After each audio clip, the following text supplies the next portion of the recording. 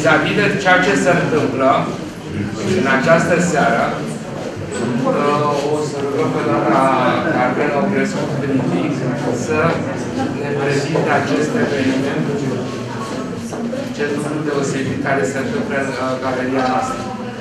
În primul rând, expoziția ilustrează fără echivoc o idee devenită axiomatică pentru toți pictorii epocii moderne.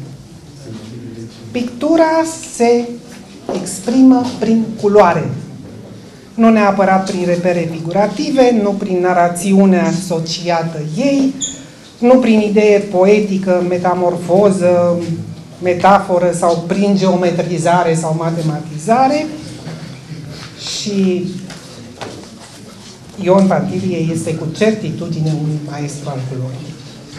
Lucrările de aici, ale domniei sale, și nu numai cele de aici, o demonstrează din plin. Există apoi în arta modernă o celebră dispută deschisă de Picasso și Matisse.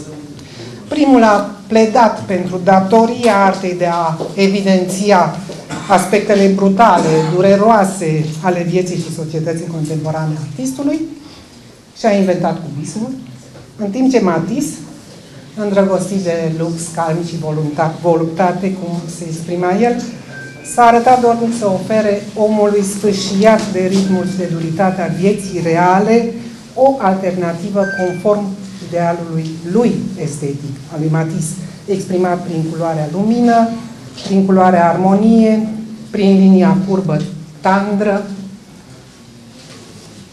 În mod evident, maestrul Pantilie, Pantilie a ales această cale absolut surprinzătoare confesiune ca artist a omului Pantilie, foarte adesea ascuns în spatele unei aparențe durități ale averbului apăsat și, a, și caustic ironic.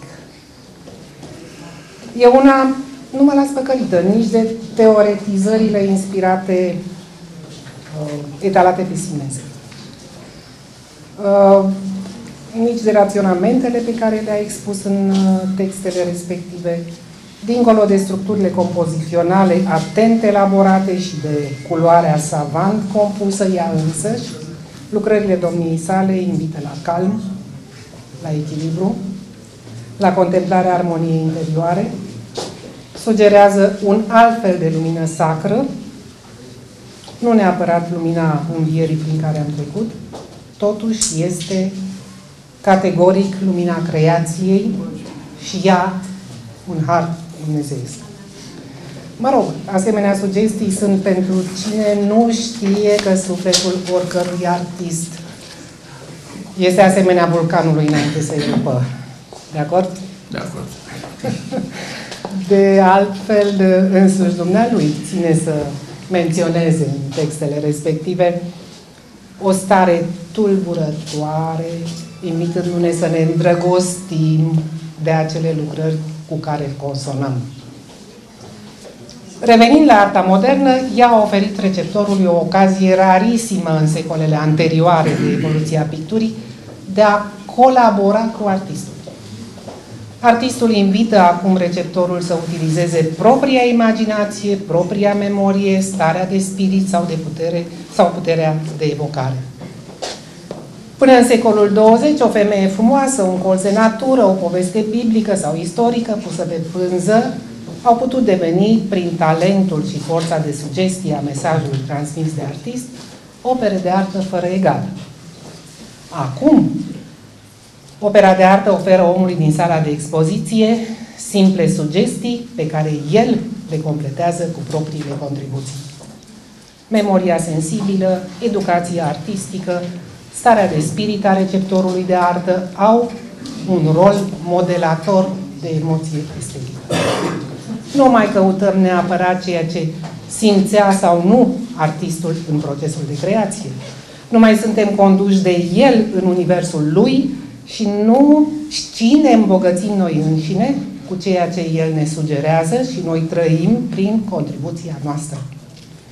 Este și cazul acestor lucrări, lucrări scuzați-mă, care nici nu mai au astfel nevoie de prezentare critică și nici de explicațiile autorului lor, pentru că fiecare le simte după propriile coordonate. În textele expuse aici, domnul Pantilie se referă la continuarea compoziției în afara spațiului pictat, ea asociindu-și aerul dintre ea și privitor, respectiv spațiul dintre ea și privitor. Am realizat că majoritatea lucrărilor cunoscute de mine, semnată Ion Pantilie, într-adevăr, spațiul plastic se extinde către cel real. Conturile dispar într-o anvelopă luminoasă de aer și lumină. O idee originală, opusă, dar în tandem cu cea a expresionismului abstract american, anume ideea câmpurilor colorate a lui Mark Rothko, propunea privitorului să se cufunde în spațiul plastic până la pierderea și regăsirea de sine. Aici este exact opusul. Și mai este, în sfârșit, simplitatea extremă a exprimării. Acea simplitate de care se spune că trebuie să muncești până la epuizare pentru a obține, corect? Așa este. Ce să zic? Brâncuș ne-a demonstrat magistral, stabilind el însuși alte repere pentru arta modernă. El este cel care a afirmat clar că simplitatea nu este un scop în artă, dar se ajunge la ea inevitabil. Și tot Constantin Brâncuș spunea, nu căutați forme ascunse ori pline de taine. Priviți îndelung până vă veți dumiri. Așadar, vă invit să privim îndelung și să ne bucurăm și prin lucrările expuse și pentru maestrul Pantelie pe care îl felicităm, Pantilie.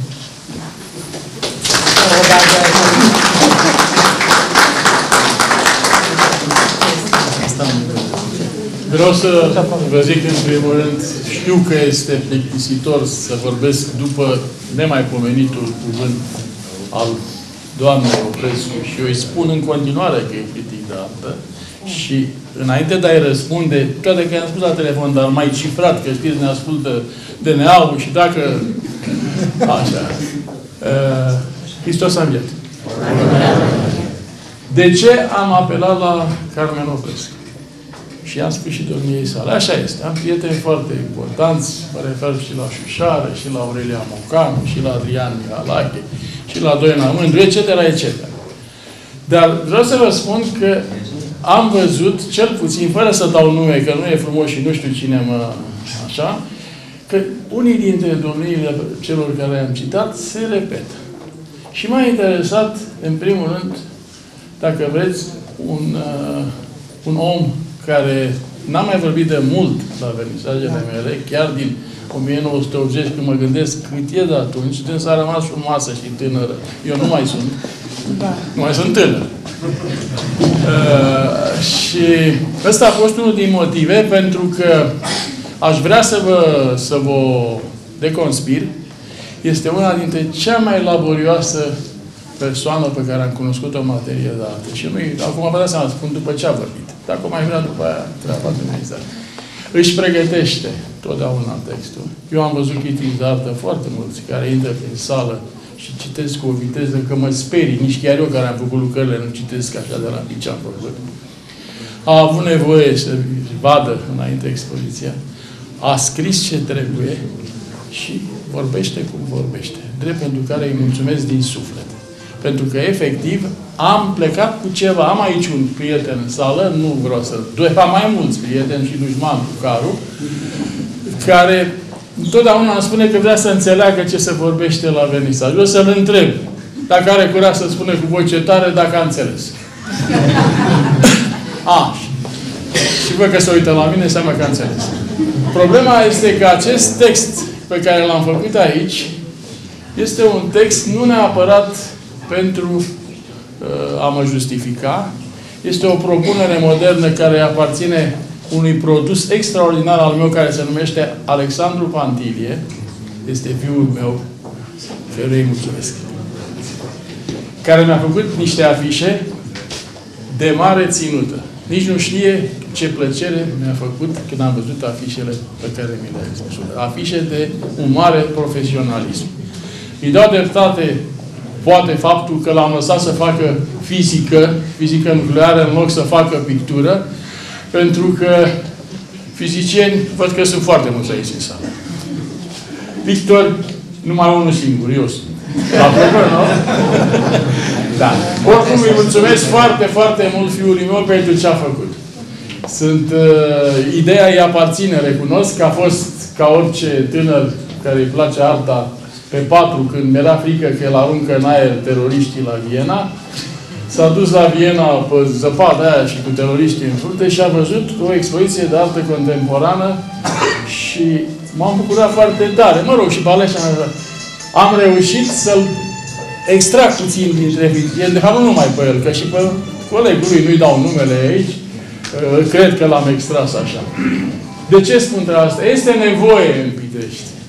Este nevoie pentru că uh, am văzut că și distinsa doamna directoare face niște eforturi uriașe să pună la punct sala și a pus-o cel puțin din punctul de vedere al, al uh, căldurii, al ce se întâmplă cu acele geamuri, cu tot ce, ce a făcut acolo și urmează.